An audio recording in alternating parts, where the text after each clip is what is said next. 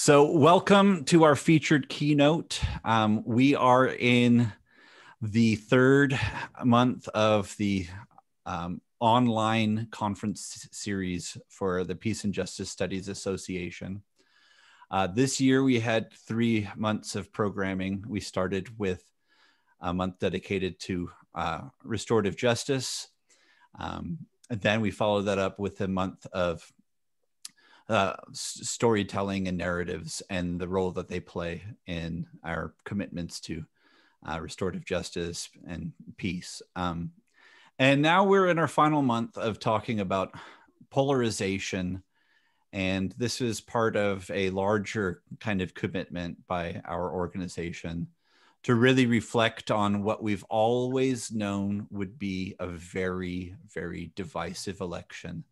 Um, you know, culminating at the end of a very tumultuous um, first term of a presidency that we've had lots of opportunities to think about our strategies for resistance and engaging with people and trying to figure out how we would um, stay committed, but simultaneously not um, push people away when there was opportunities for bridge building and so forth. Uh, when we talked about speakers to bring in, um, there's just so many good people and so many important voices. Um, there was immediate consensus um, between the, all of the members on the committee that we wanted to bring um, Dr. David Ragland in to talk about um, the work that he does. Uh, I feel very lucky because uh, just a few weeks ago we were celebrating the 10th anniversary of Cuyahoga Community College's peace and conflict studies program. And without any prodding from me, they had selected him because he's a native uh, from Ohio um, or had lived in Toledo. I can't remember exactly what the explanation was, but they brought him in because of his proximity and his early involvement in, in, in peace and justice studies in Ohio. So I'm getting a chance to just hear from him again. Um, and part of the theme for uh, introducing him was actually not to try to talk about many uh, accolades or accomplishments, things that he's been recognized for, although it really is worth saying that his work to help Cori Bush win is something that, like, the enthusiasm is just very real.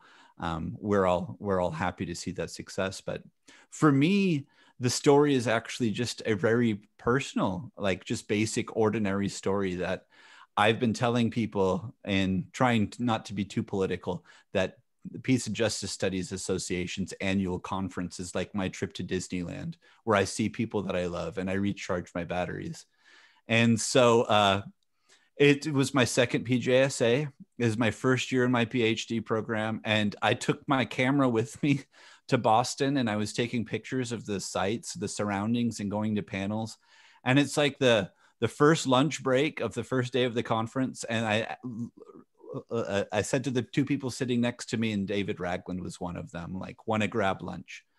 And I can't remember anything. I was exhausted. Like the conference gave me so much to think about. Like I don't remember, but it was just a friendly, uh, a friendly humility that you know we just broke bread together, and that's what we do as an organization we we get to know each other we get to appreciate each other and then you know years later it wasn't by accident that i had seen him present on truth telling and then cited him in my dissertation because i think that the work's really incredible um, tonight he will be giving a talk about truth telling in uh, a time of polarization um, and couldn't be happier to have the opportunity to introduce you and he'll give a talk this will be followed up by um, an opportunity for question and answer. And um, I would say, you know, we just can't be happier to have you tonight. Um, floor is yours. I'm going to share my screen. I appreciate that, uh, William. Um, let me get my sharing started. Okay, can you all see that? Okay. So um, it, it is really good to be here um, as well. uh, because of uh, my connection with many of you um, in this organization. Um, I'm really thankful to um, those PJSA members who were there and helped us start the Truth Telling Project. Um, for, I don't know if people know, but um, PJSA gave us um, our original funding. And when Mike Brown was killed, I was in St. Louis, Missouri. Um, and I was uh, a, a, on the board, and uh, just a few uh, people, you know, we had conversations about what was happening in Ferguson, and PJSA wrote a statement, and that to a large extent started my work in my own home community um, around truth telling in Ferguson. Um, but so before I get moving, um, I want to um, welcome my ancestors. Um, and I'm just gonna take a moment. I meant to do this earlier and light a candle. And I encourage everyone on the call to add your pronouns. And um, the original uh, indigenous inhabitants, the land that you are currently on.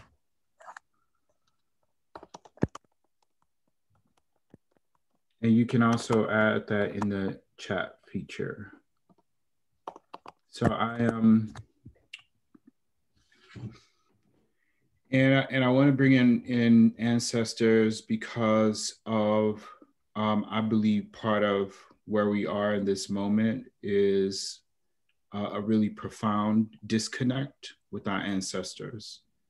Um, and I'll talk a little bit about that.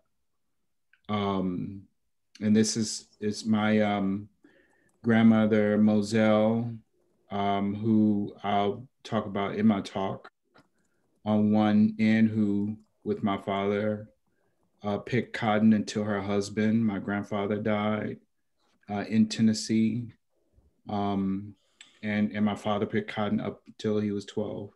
And then on the other side is my grandma Goldie, who uh, was half half black and indigenous, um, and grew up in Detroit, um, between Detroit and St. Louis.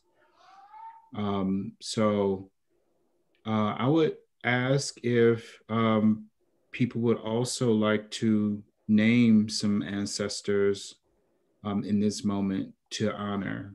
Um, I'd also like to call out um, Queen Mother Moore, a reparations pioneer.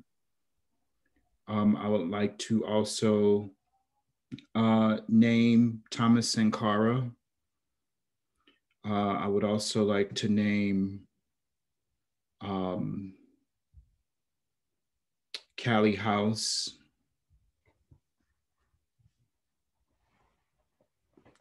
be with us as we talk and connect. We honor you. We thank you for bringing us to where we are to be prepared to survive.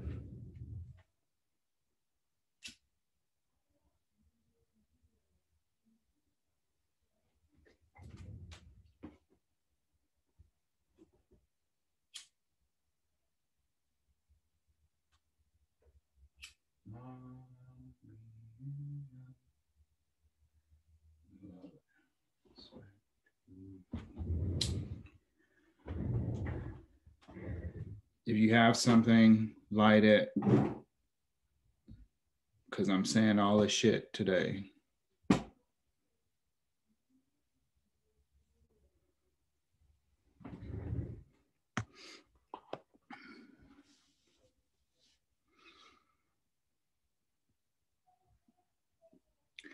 So you know, I, I, I do think the this title is really appropriate. And you know what? Before we go on, let me just go back for a second.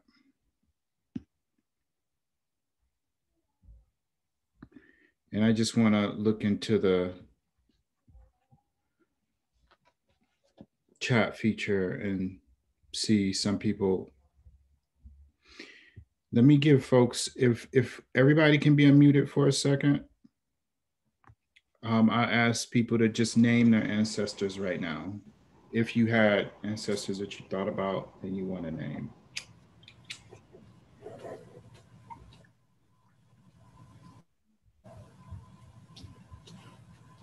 Well, David, I'm thinking of my grandmother, Julia Vivian, who was part Cherokee and lives to be 95 years old. So my children got to know her.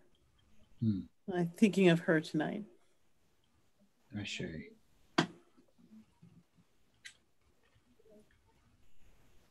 I think of my father every time I put on a tie. Mm. He passed away the year that I presented at my first PJSA. I bring him in, into every presentation when I wear when I wear the tie. Ashe. Ashe.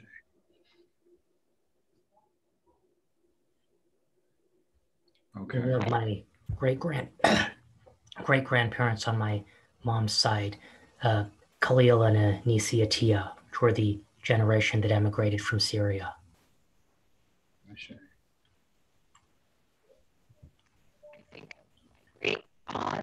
Oops. Here's my uh, great grandmother. Ooh, you can't see her. Oh. My great grandmother, Paula Claster, who was born in uh, uh, Romania, Iasi, Romania, who really regretted that she couldn't get an education and she decided all her daughters would get one. And I'm, this is my great grandmother. Sure.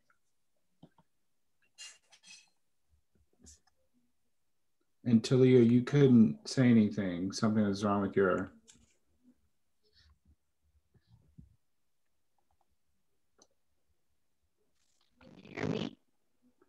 Maybe, feel free to type it. We can hear you, but it sounds distorted. Ashe. Um, I just, I really think it's important to honor our ancestors because they are who we are. Um, they're we we inherit their their genetic um, their genes um, and they also shape our lives um, in ways that we can't even imagine. Ashe Talia. All right. Um, and so I want to jump into this conversation uh, around polarization uh, or truth telling in a time of polarization. And I put this up here because um, part of part of what this um, sorry this infographic shows um, is essentially like the way that um, people in the United States have sort of went between um, sort of conservative uh, and and is here is listed as Democrat Republican, but I think it's a good way to think about um, conservative liberal ideology. And I and I and so, but I also just want to point out, I think that you know polarization is a really important thing to talk about. Um, but um, and I and I'm going to share this slide. So people have specific questions, I can also share the citation as well. Um, but this is this is where I think the polarization come from comes from. I, I just want to submit that we aren't necessarily polarized in this moment. Um, it's that a moment that we've been building up to. This society has been building up to, um, and you know this is finally like this moment where at least a quarter of white people in this society have accepted that there's something wrong with white supremacy um, some of those white folks have began taking the streets, uh, began supporting making reparations. I think an, another quarter of white people in America believe in white liberal democracy, or at least say they do. And and um, I am going to make a value judgment about that at some point. And then I think the other half of white people believe, you know, what they've been taught, like that this American dream, um, that that there's this American dream to believe in, um, and that what what this what where we are is a buildup, I think, from um, what is essentially um, a lie or, or lies, stealing, right, theft of land. Um, like this current president, you know, has is is has popularized incompetence, um, you know, selfishly en- engorging, you know, oneself and then getting away with it. And so I want to put in in the camp, in this particular camp, like this other half of like, you know, white people who believe in this American dream and all of this. I want to put the white folks who don't listen to and let people from impacted communities lead. Or white folks who still don't understand that publishing books or getting semi woke black and brown folks to co-author with you in the name um, of like helping your career or kind of putting them on. Um, that that is also a part of this camp that i find really really problematic. Um, and so I think polarization, just, you know, and I'm just kind of like talking and thinking about some ideas um, um, that I've been thinking through in this past time. Uh, but polarization is, is, I think, a result of white supremacy, this silencing of truth in service of economic prosperity, and then reliving this same drama or not even drama, but trauma, and failing to, as, as Resmaa Menakem writes in his book, my grandmother, my grandmother's hands, it's the, the failure of white people to actually address trauma, address their own trauma. And so, um, and, and I'll get into this, but Michel Foucault writes, and society must be defended he writes about how Europeans were colonized by feudal power and how that feudal power essentially uh, began to replace uh, traditional religions and also helped to create the nation state and was the beginning of the creation of capitalism. And if we think about that, this notion that white people have been traumatized um, we have to understand that in this historical context, white people have been traumatized by capitalism. And all of the white people who came to this country came escaping something or running for something and never dealt with that trauma. So imagine all of the other people that came in contact with white people like the indigenous people of this land dealt with a group of people who were traumatized and i'm not i'm not sort of saying this to let anybody off the hook. I'm just speaking to a failure to address trauma.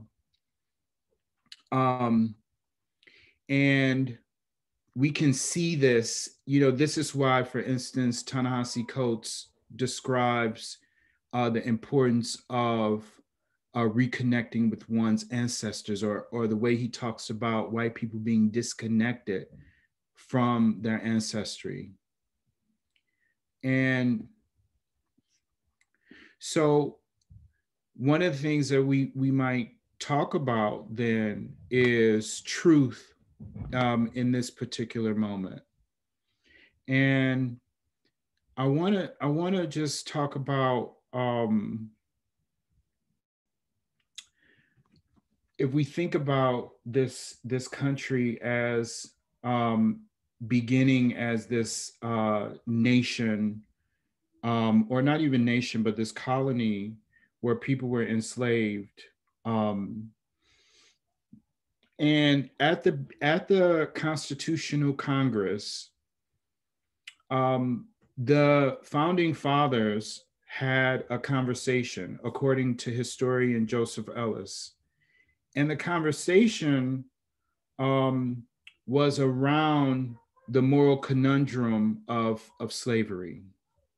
And how do we, if we're creating this free society, this liberal democracy, how do we actually, um, how can we create this? Like, how are we even having a revolution?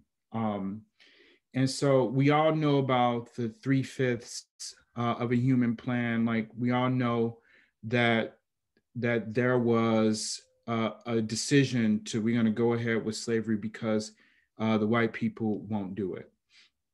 And what this particular historical moment did was it reinforced um, this notion of silence, historical silence, because while they were having this discussion, what is not necessarily reported and what Joseph Ellis reports is that the founders had agreed among themselves to not have um, not have it publicized that they had even had arguments and discussions around the morality of slavery.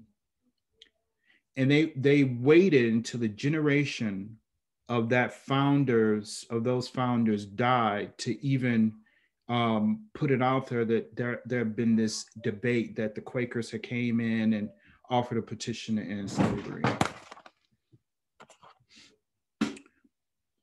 And so when we when we think about the impact of silence around or on the American populace at the time of uh, this sort of reinforced hierarchy, this domination, this beginning of social norms, this uh, creation of um, elite power holding uh, people, then we can also connect that to the fact that we weren't even talking about indigenous people whose land had been stolen. And so I think for me, that's the first piece in this in this puzzle about thinking about like why are we polarized in this moment? And so after the revolutionary war um, you had mary wollstonecraft shelley who wrote um, vindication of the rights of women. And in it she argued that it wasn't a revolution essentially because um, there had been slaves and that there was no education for women included in the Constitution. Um, and at the same time, what if the United States would have stopped after the Revolutionary War and took stock? Realized, like, all right, we just created a, a new nation. What could we do so that we can live up to our values? And so that's sort of this this failure that continues throughout history uh, or throughout this kind of history. And so then uh, Derek Bell, who's the founder of critical race theory, he makes the argument that there was this moment even before the revolution when um, when Africans were introduced into uh, this society. And that introduction, um, according to him, was, was very different, right? Because um, there were um, indentured servants uh, but those indentured servants could be freed. There were indigenous people, but it was often hard to keep them enslaved um, uh, for various reasons. Uh, they also knew the landscape, but the introduction of Black slaves, uh, Black people who were enslaved into this economy, I think created the at least I'm not a nigger moment. Because all of a sudden, you also have people um, who, from birth to death, um, are miserable, like their children will be slaves, their bodies are not their own.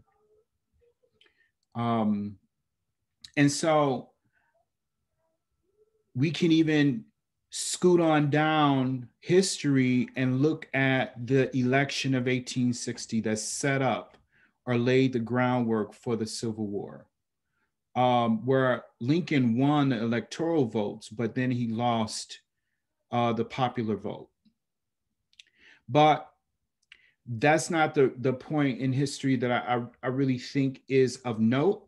I think that the piece like post Civil War, when the United States could have stopped for a moment and said, maybe here is a moment uh, to think about what happened, to think about what we did during slavery.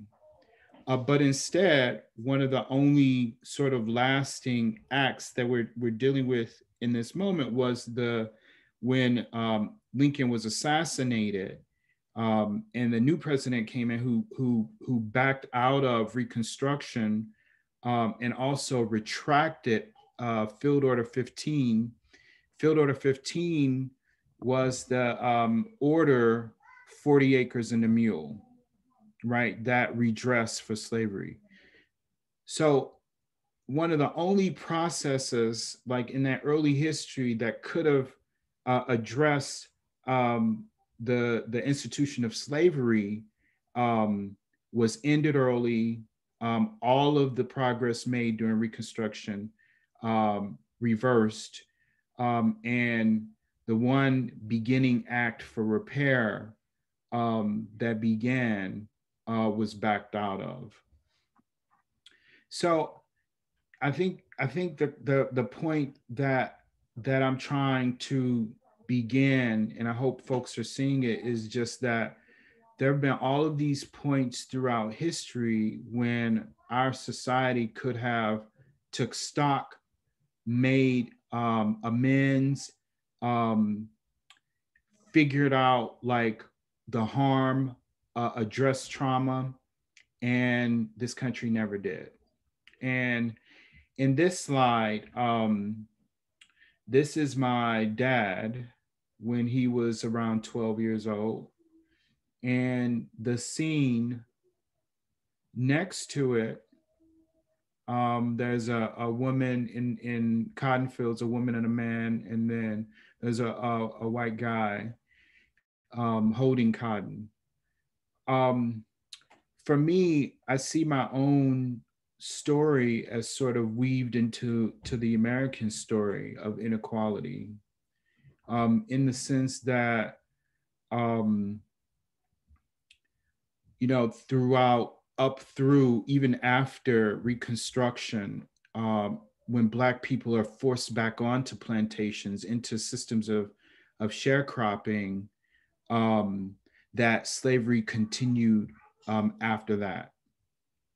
And if these are uh, um, paintings from Jacob Lawrence, who uh, painted The Great Migration, and the painting, uh, these paintings, it's about 20 of them, and they depict Black folk uh, leaving the South. Um, and so the, the, the top two uh, pictures or paintings um, show Black people headed out through uh, to train stations going to Chicago, New York, and St. Louis. Um, and then the bottom right picture speaks to what Black people experienced when they came to northern cities, police violence. And so I can see my own uh, story being reflected um, in our history. And how, you know, even um th- this system, you know, many people asked me how how did we how did our country get to Ferguson? How do we get to to that point in 2014? And you know, my answer was that we were already there. Um, throughout history, you know, we had continued to experience violence, and um, even the Great Migration is is a problematic term. We should be calling it the escape from uh, racial terror in the South or something like that. Um, but Ferguson and many other movements like it that we are experiencing now was essentially um, just sort of um, a result of all of this historic violence and trauma coming to a point and people paying attention. And so, what Ferguson for me was really trying to respond to was the mo- the movements that have been unrealized. Um, so, for instance, the civil rights movement um, was really important, right? Because it was is really about you know becoming visible in this system, having our having our lives at minimal uh, be protected uh, under um, legal framework or having the laws that were currently on the book um, to actually be listened to or applied. And what what was so difficult and and why Ferguson happened uh, was in part because those movements up until Ferguson and even in with Ferguson, which is why we're in this current moment now, they um, were important, but um, you know, Derek Bell writes about this too. Uh, but what they did was civil rights essentially happened, civil rights legislation passed because um, white liberals, white elite liberals were interested in it. And also because the United States was um, had a, a, a um, extremely horrible reputation abroad. Um, and so uh, the US uh, civil rights essentially provided the US uh, cover as it battled communism abroad. Um, and even through the support of colonial uh, wars against colonism, colonialism and um, places all over the world uh, where the US was um, quote unquote fighting communism. And so the civil rights era um, essentially um, was still uh, being uh, uh, sort of addressed. And we can even look at it in terms of legislation. And I'm, I'm thinking about three particular uh, legislations. So the Fair Housing Act. And according to the Center for Investigative Journalism, um, the Fair Housing Act um, presided over decades of gentrification uh, under Obama and then under Reagan and uh, Trump with these things called the enterprise uh, zone, uh, which were essentially about bringing housing into urban communities but what they essentially did uh, was empower wealthy developers. And then um, there was also affirmative action, um, one civil rights legislation um, that essentially um, where white women most benefited from this particular civil rights era legislation. And then voter rights, um, which has been rolled back. And so I think in, in Ferguson, we were still dealing with not being visible and not being a part of the system. And, you know, um, as I as I mentioned earlier, um, when Michael Brown was killed, um, I was uh, acting as a representative for Peace and Justice Studies Association, and we put out a statement condemning police violence, um, and then um, as time went on, a number of activists, uh, Cori Bush included, uh, Mama Cat, and I, and, and a number of the local folks, we started the Truth Telling Project. And we started the Truth Telling Project um, because we thought it was really important that people be allowed to tell their own stories, that people's stories uh, matter more than the official narrative. Um, we didn't call it a Truth and Reconciliation project or process because, from our perspective, um, we you need both parties. Um, number one, the party that's victimized to tell their stories, and then those who have been um, who's had harm inflicted upon them um, and then the victimizers themselves to to be willing to come to the table and from our experience we didn't think that um, the victimi- the victimizers police um, and then the people who support police um, would actually be willing uh, to admit that there was something wrong with killing black people. And so in that sense we brought people from around the country to tell their stories about being victimized um, by police violence. And in this slide, these are um, the siblings of Mike Brown um, Jr. And um, so what what we're really talking about here is what kind of education, what kind of um, narrative are we going to, to listen to as a country? And, you know, from, from this work, um, let me, I'm doing a bunch of stuff.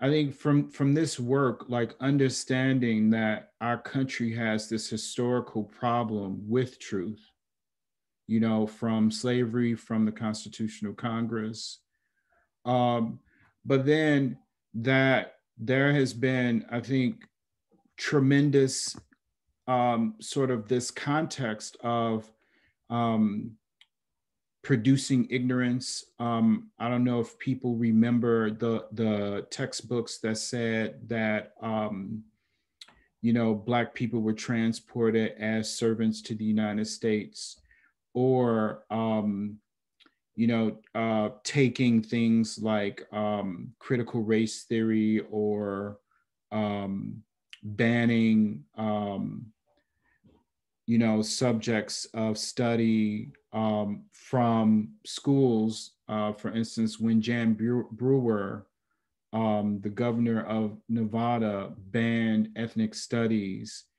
um, this was all trying to reinforce a particular narrative.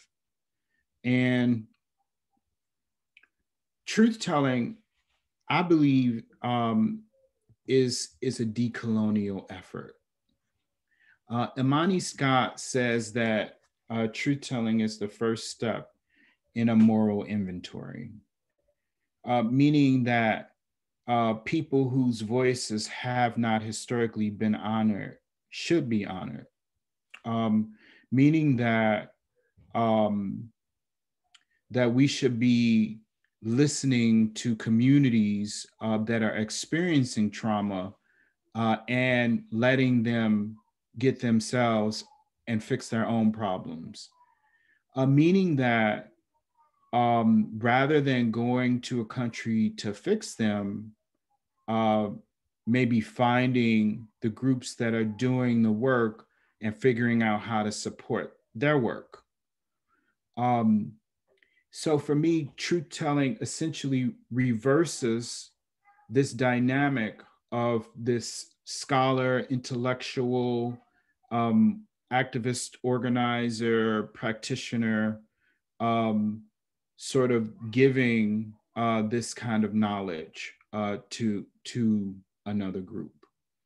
Um, and and I've always found this particular particularly troubling uh, because, you know, um, I've you know throughout my entire education experienced um, you know people coming into my community and telling us what to do and then leaving um, or um, scholars who come in and you know write a book about your community and then they're out. Um, and just you know people finding so many ways um, that seem uh, benign to really come into communities and disrespect what people are trying to do and for us that was the model of truth telling and so um, i think in this particular moment, I think it's less about Biden and Trump and more about telling the truth around um, what this society has done, um, particularly to people of color and women and queer folks.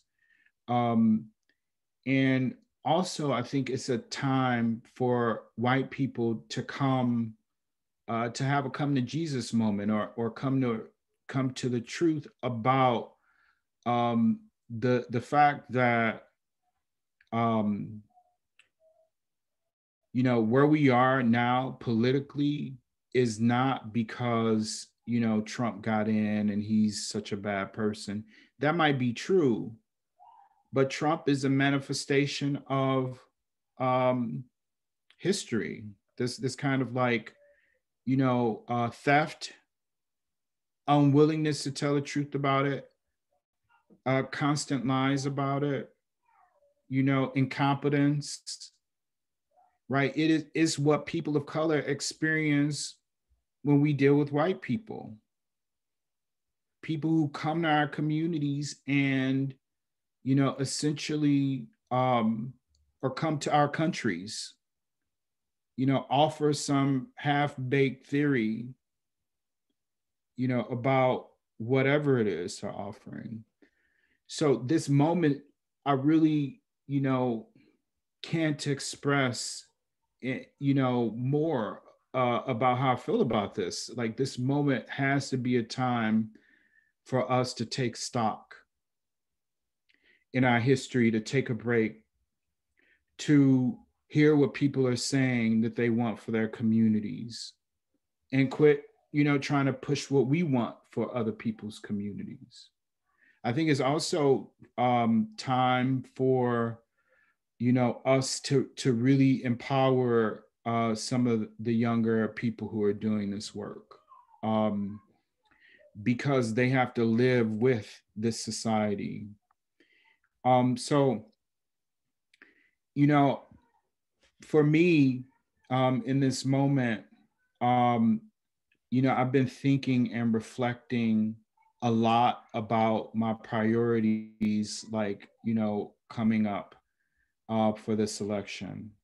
Um, and, you know, what I've proposed to people, um, you know, in policy circles is what would it be like if the United States had um, communities around the country uh, doing truth processes. And, you know, that's actually happening right now. Um, I can count probably about 20 cities around the country that are um, creating some kind of truth po- uh, process to tell the stories about like uh, things that happen that people haven't uh, been talking about. And some of some examples of, of, of commissions that have recently happened are, um, for instance, in Maine, uh, there was a truth commission around boarding schools uh, where indigenous people have been uh, put in boarding schools essentially to take their culture away. Um, and right now, there's there's a truth commission happening in the in San Francisco, in Philadelphia, um, and I want to say Boston.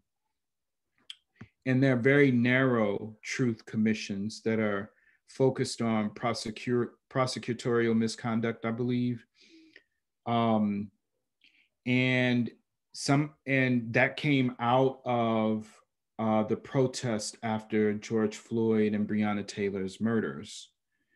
Um, but what I really believe is that we need a process that's connected to reparations. Um, a truth telling process where communities uh, can, you know, have people who've been victimized by state violence and uh, racism to share their experiences and stories, um, while at the same time, there is a truth seeking process um, that is looking at um, the role of individuals in this work, the role of families in benefiting from state violence, the role of uh, government at every level, the role of businesses at every level. And the reason why there should be a truth seeking process alongside a truth telling process um, is because um, it should be connected to reparations. And um, the work that I've been really passionate around is a result of the work that we did in the truth telling project. Um, and we did the truth telling where people came and told their stories about police violence, but I had always been, um, I've always felt some kind of way, like when when I would sit and listen to people talk about um, a relative who was killed by police, and on one hand, I thought it was healing for the people, especially the way that we offered a space as sacred um, and they weren't questioned by you know uh, people who um, were just trying to clarify some minute point. Um, but it was we created these very kind of like sacred community processes where we value the stories that people were telling a lot of white people came to these um, these hearings, and many uh, would would be crying and talking to me as um, they left. And you know, I was really, I re- really began thinking that reparations was even more important in those moments. That white people crying came to me because you know I, I I think on one hand it's, it's one thing to hear the truth, but another thing to be accountable for it. And in this kind of historical like narrative I've been trying to share, one of the things that we've always missed is accountability. And so I began thinking that reparations had to be part of a seamless truth telling, truth seeking repair process. Because what would happen if this country was accountable to slavery and the history that slavery created, or the world that we are living out that slavery created? And you know, I'm not just talking about like reparations that um that's saying cut my check. Yeah, yeah, cut my check. I want my 40 acres. I want all of that. But I'm talking about a, a, a holistic approach to reparations. And I found that in 2009 when we launched um, the reparations campaign. We we called it. We launched it with um, FOR and Restorative Justice for Oakland Youth, and N'COBRA and another number of organizations. And we launched this campaign because we we wanted um, we wanted people to see their own relationship to slavery and the world that it created. From from our viewpoint, we saw that just being white in this country, you owe reparations, even if you just got off the boat because just by being white, you benefit from the world that slavery made right off the bat. And I named some of the things, like for instance, Center for Investigative Journalism, um, their report where they just looked at mortgages, who got the mortgages. And they found that um, white people, even with worse credit and no money were more likely to get a loan, um, even if uh, the Black person had more money, more cash on hand, or better credit. Um, but it, but it's not just that. It is when I get pulled over by the police, it's a direct correlation between me getting pulled over by the police and policy that has police not enforcing basic laws that Black people, Brown people are over enforced under. Or jobs. Let's talk about jobs, right? We can talk about, you know, I remember in one of my, maybe I shouldn't go there, but one of my first academic appointment, I got an evaluation um, for an online course I taught that said that um, that um, it wasn't as good as the other courses that I taught. And so my boss came to me and was like, hey, you know, we're just like figuring out next year and we decided that we're not going to offer you a position because, you know, it looks like your progress had, had went down. The crazy part is, is that my colleague came to me later and is like, you know, I told her that was racist because your online scores, which are bad, are better than everybody else's in the department because we all typically do worse on online courses. But if we think about like, you know, how that process works, how employment works, how getting looked at in this society um, for a job, for all kinds of things, like depend on your race or have a huge part of your race. So for me, we've been fucking polarized. If you're not white in this society, you've been on one side of things. And for me, white people are just catching up.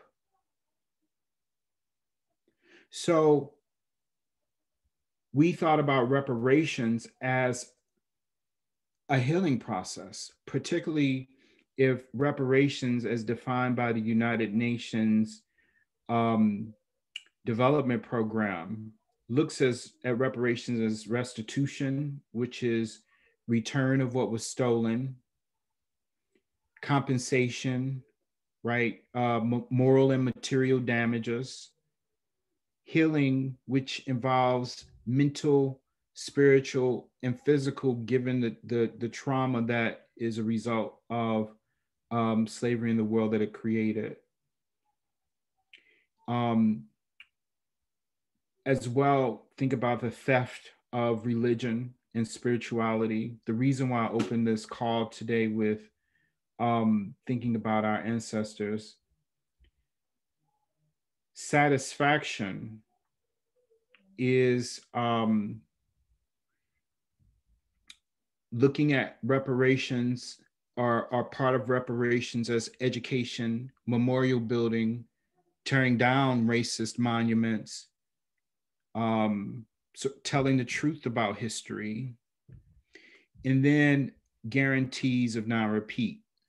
And, and guarantees of non-repeat is essentially transforming the, the system so that um, the laws have changed the structures have changed, people's education has changed in ways that you won't repeat the same harm. So for me, you know, I see truth telling and reparations as a seamless process because without uh, accountability, the truth doesn't really matter. Could you imagine if if the United States paid reparations to black people for slavery? This would mean that we could be accountable to ourselves for one of the, the founding moral harms of this nation. And we would be open to all of the coups, the interference in other governments, for instance, the colonization of Israel, I mean, of Palestine by Israel. Like we would be accountable and we would be paying reparations for the all but two countries in Latin America that the US has had a part in uh, overthrowing a government or um, um, sort of, you know, some kind of coup. And so it, it doesn't matter who the president is from my perspective. Trump is essentially the chickens coming home to roost. It is white folks being showed themselves. That's why people were dancing in the streets. Because they saw themselves, they didn't like it, let's get rid of it. But there are deeper structural issues to deal with. And I think that truth telling and reparations um, could be the first step in it. That's what I got to say. Would love to hear what folks are thinking.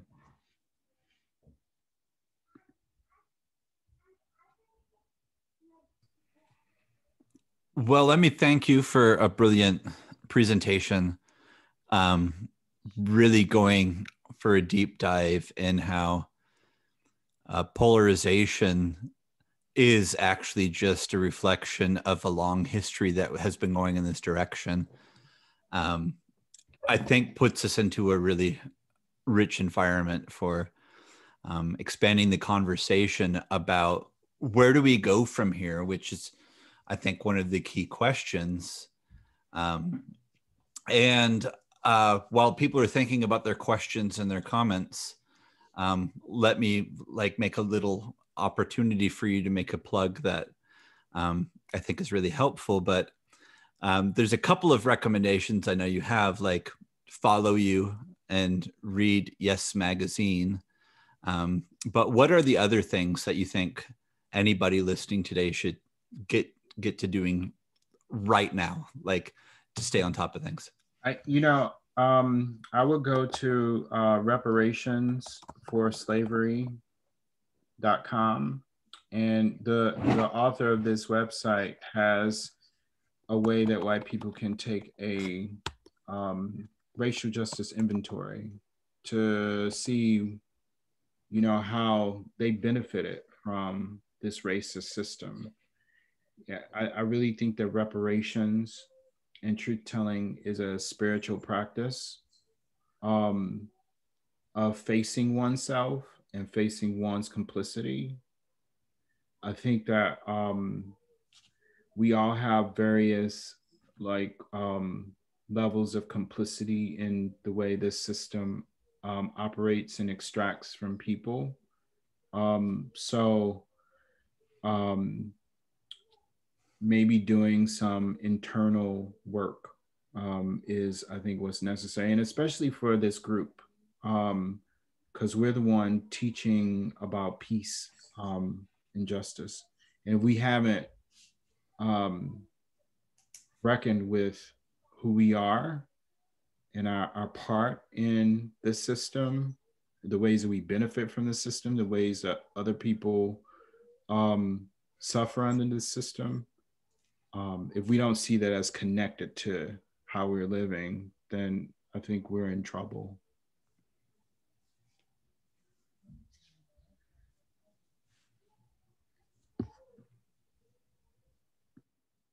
So I just said a lot. Let me put this up here. Dave, you reminded me of something that I had almost forgotten about.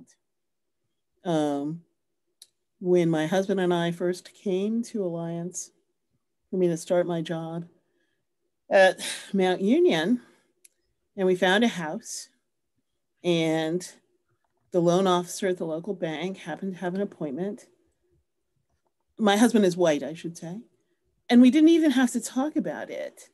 He was going to go to the bank and apply for the loan.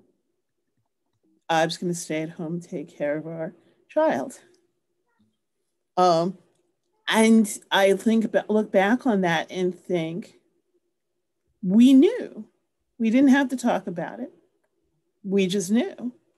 And the the the the ironic thing is some 20 years later, lovely, older, retired woman asked if she could audit my African American literature class. And I said, sure. And at the end of the first day, she came up to me at the end of the class and she said, You know, I think I interviewed your husband for your loan. And she was really, she was, I could see that she was taken aback by my name when she met me because Collins Sibley is not, a, you know, a really common name. It had never occurred to her until she met me that I was Black and my husband was white. And it was a very interesting semester. She turned out to be a delightful student who worked really hard and wanted to learn things. But it, you know, it had me thinking 20 some, some odd years before we ever met.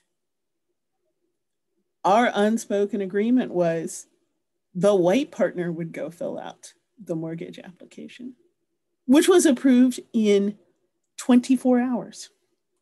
And I sometimes wonder if it would have been different had we gone together or if I had gone alone. So just you had me thinking about that and remembering that. And you know, that's the systemic part that people don't want to talk about. Right.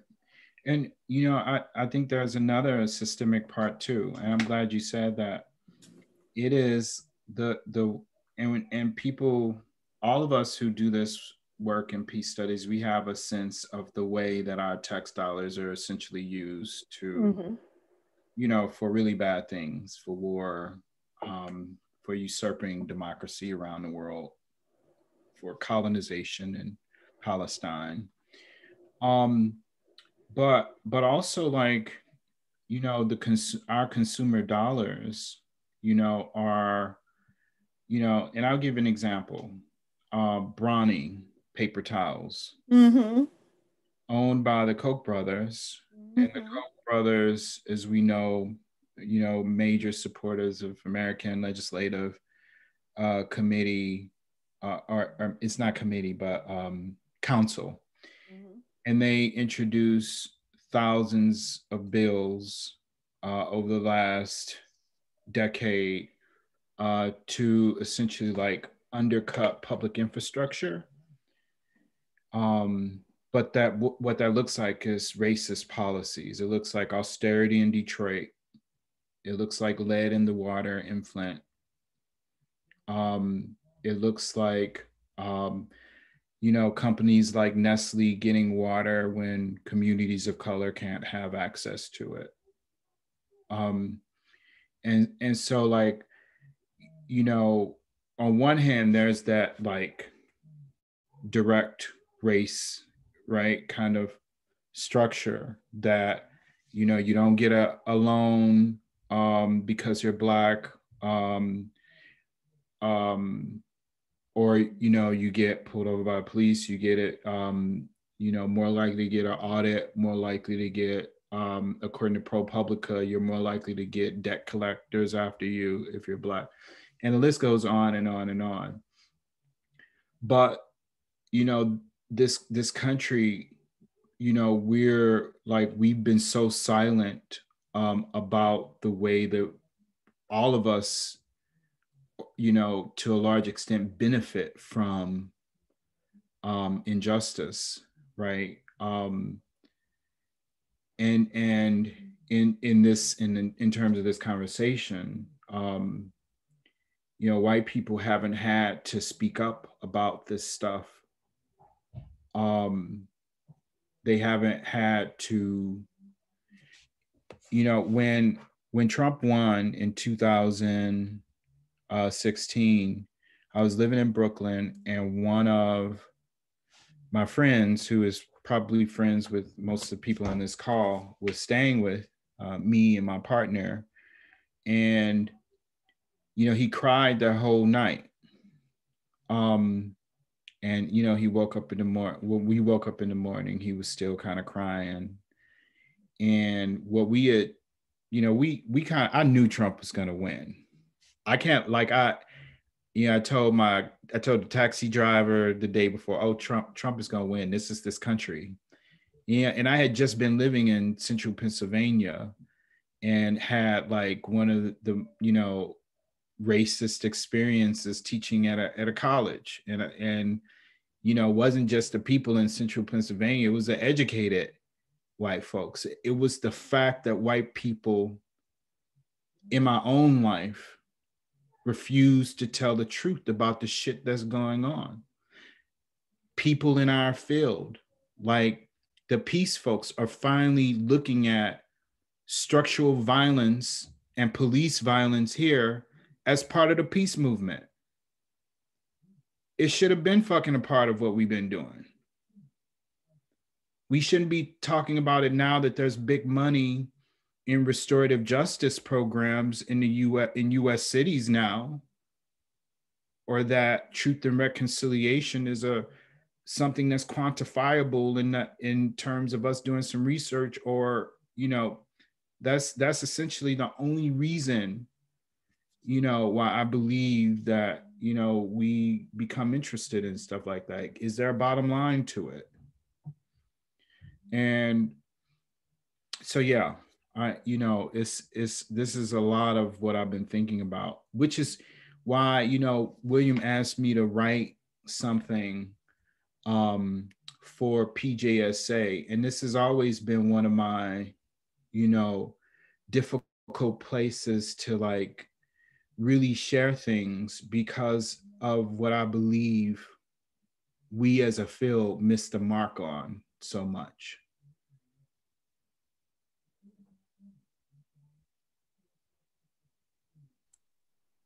I still remember that little college in the middle of Pennsylvania. Yeah. That was where I met you.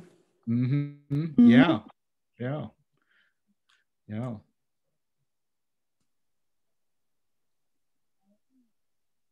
Come on, y'all. I know y'all got some shit to say.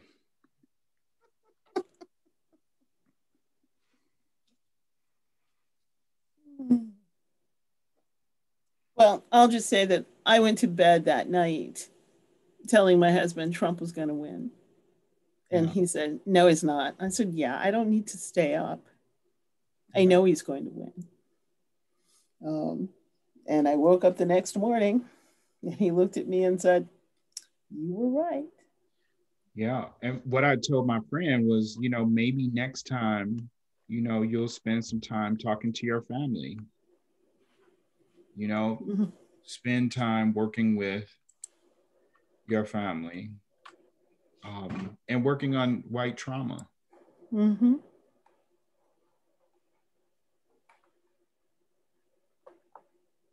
My last moment um, before the election that I re- remember visibly is the white supremacist in class who really called an end to it in like the last kind of minute of our discussion by saying, I think a lot of people are going to be surprised with how many of us are tired of apologizing because we think some races and some cultures are better than others. And I was like, I promised we wouldn't have any debate. See you guys on Thursday. We'll see who is right. And he wasn't in class on Thursday. And people were like, What happened? And I was like, well, we know whose prediction was right. um, you talked about Pennsylvania. One of our last keynotes um, talked about his experience of a hate crime um, in Pennsylvania, um, where he was targeted because of the color of his skin and the individual's um, perception of how he prayed and who he worshiped and so forth. And on the one hand, he can't say exactly how the dots between he's wearing a MAGA hat and he's firing his 357 revolver in their direction and saying, I'll bury you in the river. But it's undeniable at the same time. And the only way that I uh, have to compare any of my experiences is the time that I thought the brutalization was going to be horrible and when I was being attacked for being a race traitor. Mm. I don't know how we connect those dots.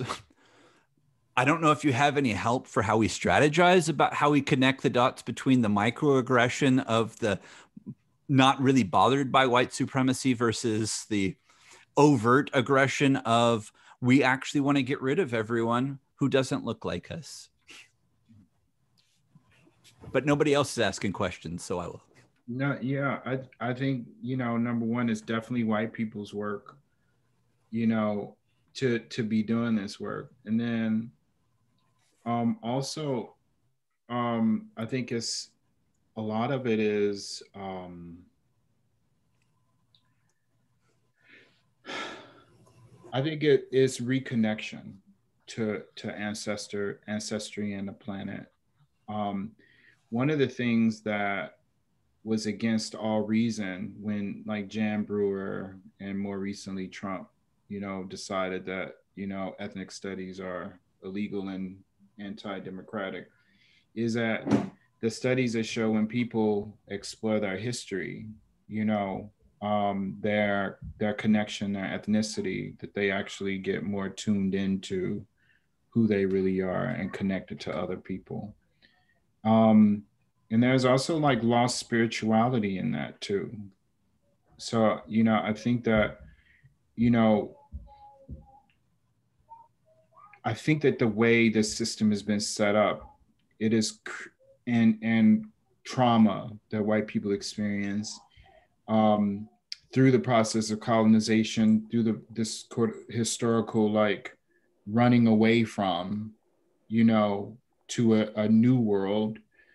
Um, they missed um, that kind of reckoning with that history, that past. Um, and so I think that you know the the internal work is the most important work um, for me in this moment. And it's the reconnecting with ancestors and where white people are like reconnecting not just with this history that says oh i was irish i'm going to go get a celt but like reconnecting with the immediate history of family members and relatives um, who've gone before us who benefited from slavery who benefited from oppression of people like healing that trauma and so you know the the racists out there are kind of you know people who are like outwardly racist are really sort of just acting out of um, this like not knowing where to go with being white. It's nothing wrong with being white, right? It is, you know, um, so if if if people are reconnecting in those ways um you know i think that's you know the first step and and really like as a culture if white culture or or you know white people can collectively stand up more uh, to the stuff that's happening um, not just when there's an election coming or when somebody gets killed. But what if, you know, part of people's personal rituals are, um, you know, responding to, um, you know, racist behavior by other white people wherever it is. Um, you know, doing things around uh, equity, redistribution of resources. Like those are, I think, the things that like mean a whole lot. And somebody wants to say goodnight.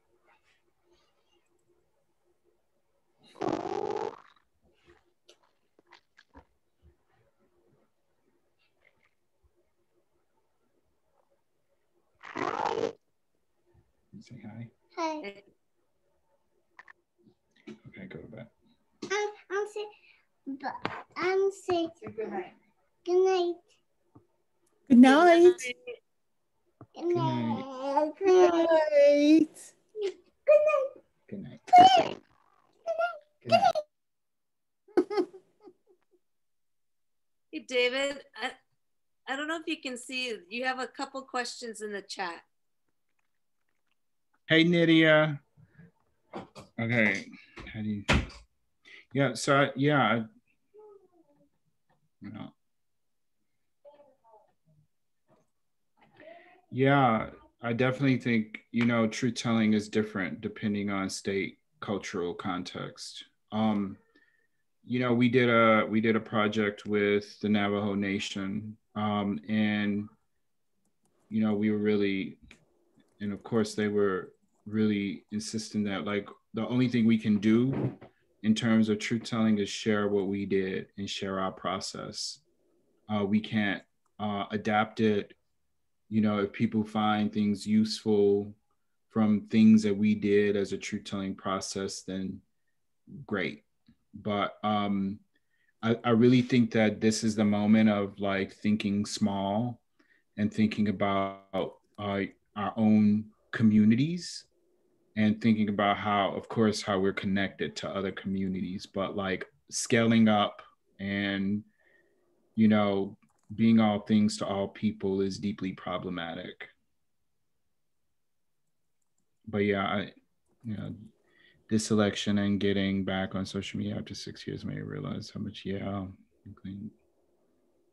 yeah no yeah ignorance is has this is this has been like the in one of the most intense times of like uh polarization in terms of just media uh in terms of the way that um you know we're all being like sectioned on facebook for instance in in one little area so you're only speaking to one group of people. But then half the stuff we're getting is not true and you know it's just this this moment of no truth.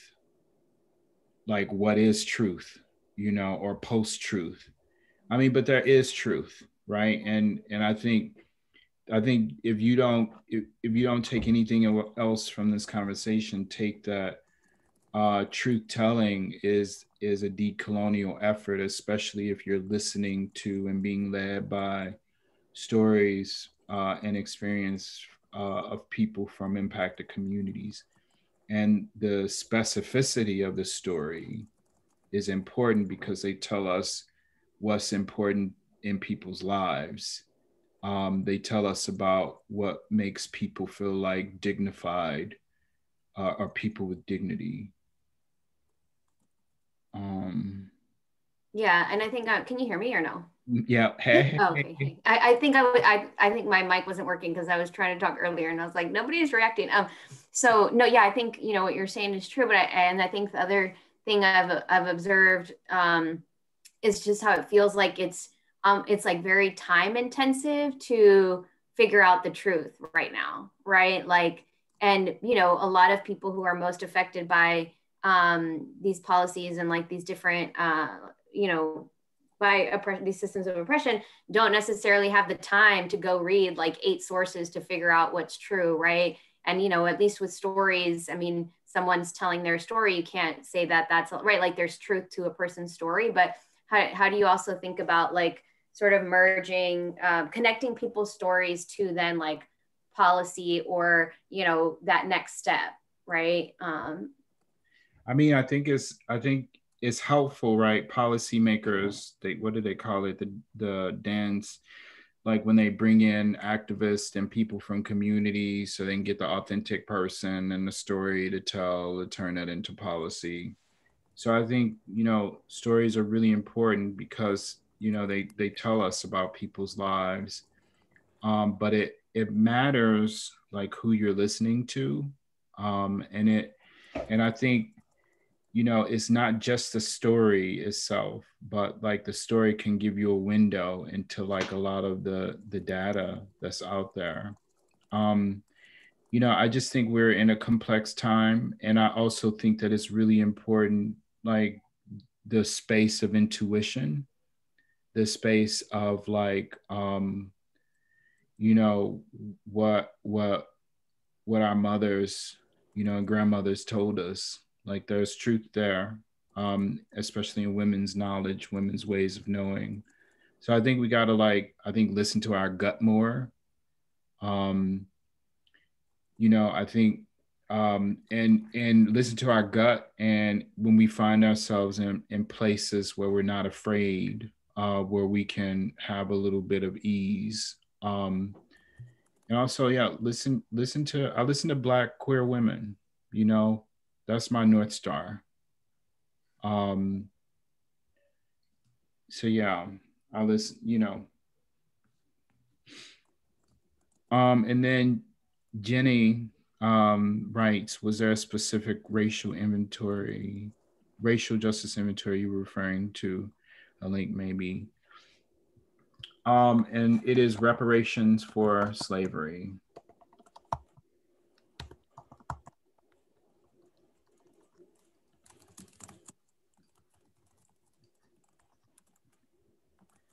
Nydia, was that helpful? Yeah, no, it's good to, to think about like how do you curate the stories, you know, in a responsible way.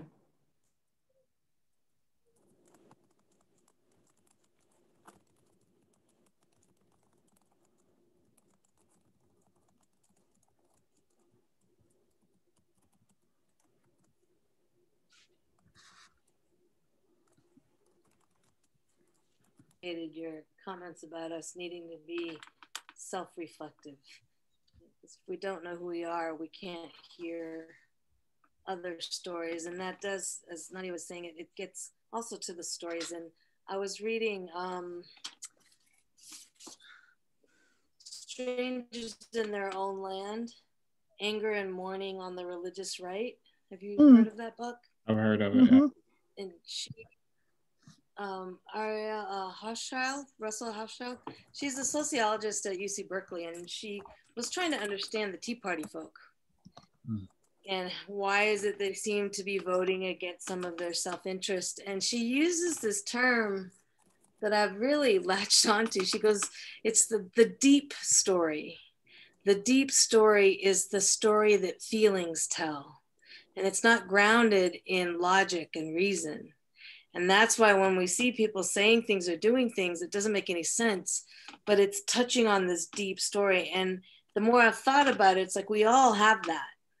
Mm-hmm. And it's, you know, a matter of figuring out what that is. And until I know what mine is, I'm not going to necessarily be able to hear yours. Right. You know, or I'm going to react to it as opposed to being able to fully listen and be present. Mm-hmm. And by knowing where I am and who I am, I can do that better. I, I mean, that's something I've been thinking about. So thank you. Yeah, no, it's true. Um, which is is so interesting. When I was in Pennsylvania, I was talking to this guy, and I asked him. I said, um, he had a Confederate flag on his truck. I said, so what's up with the Confederate flag? You from the South? Like, no, I'm from here. You know, he started talking about like um, heritage, and you know, I, I was just like so what do you know about your heritage?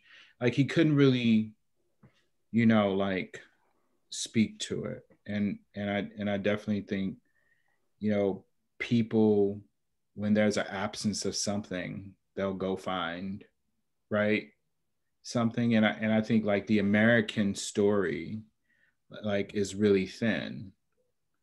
Like the american narrative of like George Washington was this, Lincoln was this, Martin Luther King was like it's really thin, you know. Um, and you know, people are people are looking for something to to connect themselves and to situate their identity in. Um, so yeah, I, I, I do think is is really important to try to um, get people to talk and reconnect with something deeper. Um,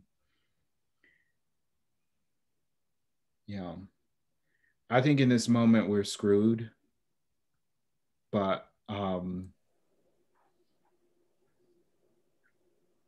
you well, know, hopefully the Buddha is right that this too shall pass. It's yeah, all it'll, it'll pass eventually. Other questions and comments? No. Well, I was going to say, I don't know if we should stop the recording and if anybody wants to be more raw, um, if if that's a limiting factor. I know there is a couple more comments that made it to the chat. Um, I know that there's a lot of questions, in part because I know I have a lot. Um, and so one of the questions about the story that came up in our storytelling month, and th- this has been something that's interesting the way the intersection happens. Um, I do remember you telling me that you couldn't have the piece printed because it was too angry. Yeah um, reparations is important enough, and it will be in our healing issue because there was there are other people who think about it. Um, and the spoiler here is that the title is Payback, which is interesting in its own regard. Um, but uh, so Michelle Collins Sibley and I presented along with this individual on a panel. And it's one of the most provocative examples that I know of for structural violence because of its simplicity. It wasn't part of the presentation, it was part of an answer.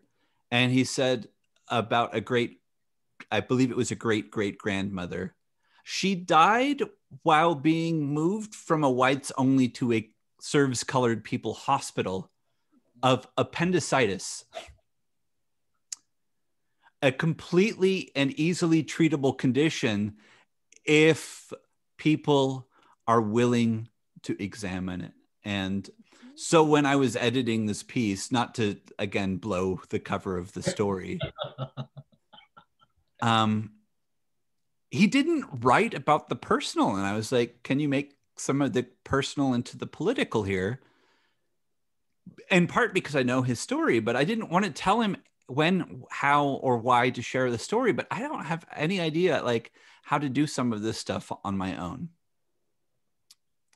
I don't know if that makes sense, but how how how do we do a better job of talking about reparations?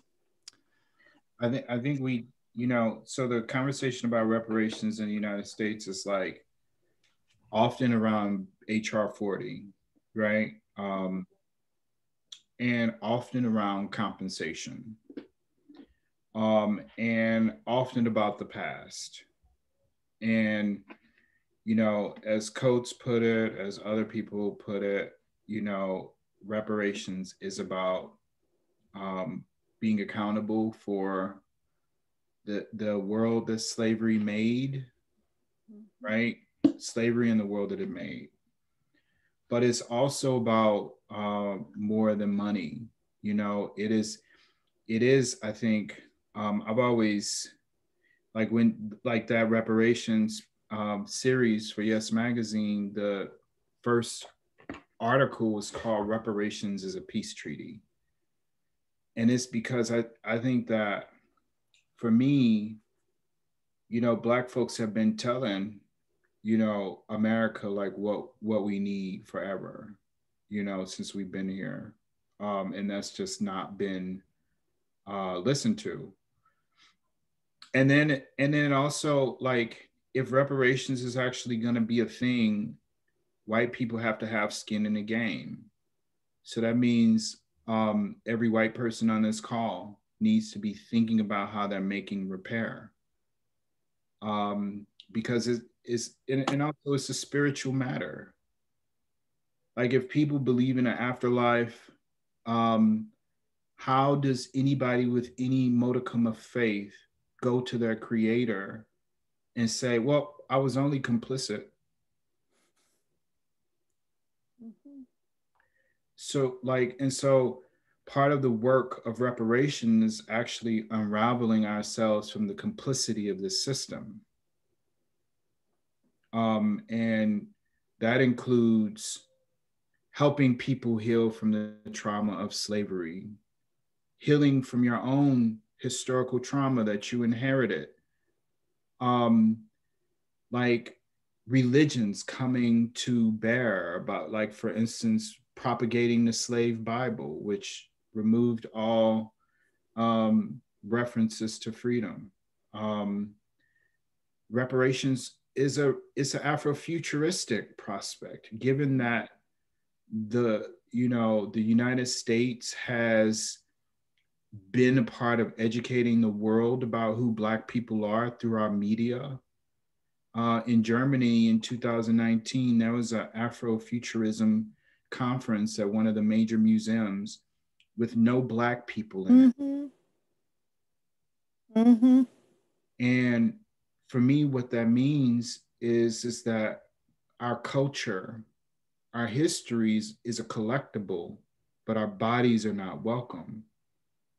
And, you know, for so reparations has to be about re-educating the world about blackness and the way that Europe, you know, for instance, um, has, you know, or, or, you know, Germany, for instance, study, and I and I have a paper coming out in the next issue of International um, Human Rights, um, talking about how Germany studied um, the United States legal code um, to figure out how to put in um, racial um, hierarchies into the German government. So they study for us, from us. And um,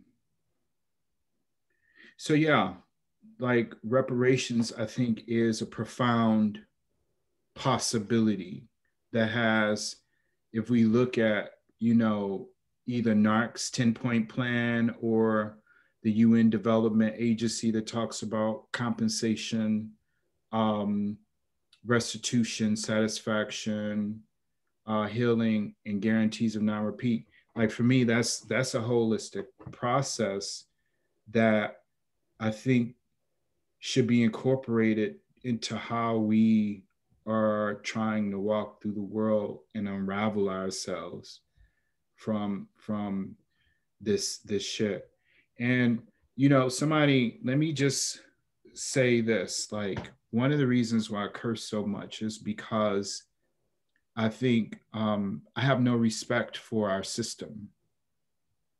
I have no respect for, um, you know, many of the nonprofits rooted in this Western liberal democracy or the universities and colleges that um, essentially benefit, you know, from from no taxes and don't do shit uh, for the communities surrounding them. Um, you know, and I think that we should adopt a less respectful attitude toward this fucking system.